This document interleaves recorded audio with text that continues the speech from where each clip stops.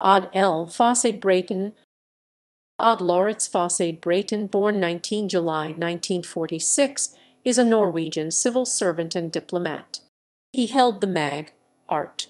degree Ph.D. equivalent in political science and was hired in the Ministry of Foreign Affairs in 1973.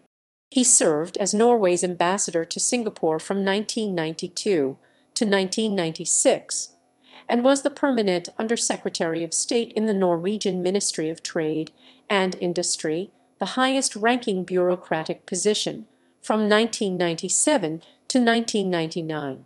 He served as Norway's ambassador to Tokyo from 1999 to 2003 and Sweden from 2003 to 2009.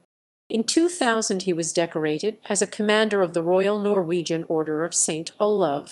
Olav. References equals equals equals